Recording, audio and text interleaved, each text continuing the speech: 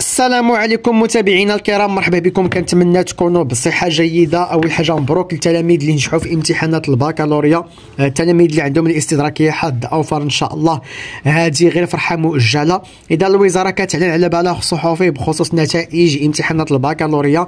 آه، كتقول بأن الوزارة 245881 مترشح دوزوا بنجاح اختبارات الدورة العادية مقابل 245295 مترشح في الدورة العادية سنة 2023 ما كانش اختلاف كبير بزاف في العدد ديال الناس اللي دوزوا امتحان الباك هذا العام والعام اللي فات. بالنسبة لنسبة نجاح الإخوان وصلت 67.8 هذا العام مقابل 59.8 في الدورة العادية ديال العام اللي فات 2023 كنلاحظوا بأن هناك زيادة في نسبة النجاح بلغت 8 نقاط مئوية.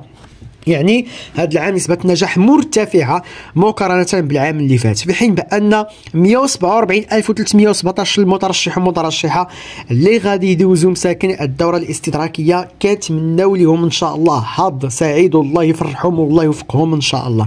كذلك الوزارة كتقول بأنه آه، نسبة النجاح لدى الإناث وصلت 72% من مجموع المتمدرسات اللواتي اجتزنا هذه الاختبارات في حين أن الذكور وصلت عندهم نسبة ديال ديال النجاح آه، يعني عدد الذكور اللي نجحوا 62.6% كنلاحظوا كذلك توفق تفوق الإناث عفوا آه، نسبة آه، فايتين ب 10% يعني نسبة الإناث اللي نجحوا أكثر من النسبة ديال الذكور اللي نجحوا. كذلك بالنسبة اللي حصلوا على ميزة سواء المتمدرس ولا أحرار 148 ألف مترشح حصل على الميزة بنسبة 54% من مجموع الناجحين يعني 54% ديال المترشحين اللي حصلوا على ميزة يعني سواء حسن أو يعني مستحسن إلى آخره. فكنتمناو التوفيق للجميع.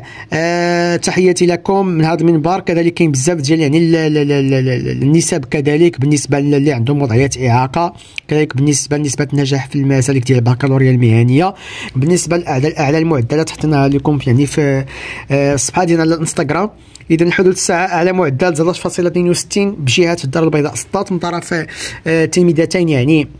أماني لينا واميره بالكوشي على ما أظن يعني هذا هو الاسم ديالها. آه، التلميذة أميرة. نعم بالكوشي إذا حظ سعيد للجميع كنتمنى لكم التوفيق. هادشي اللي كان تلقاو في فيديو جديد. والسلام عليكم ورحمة الله.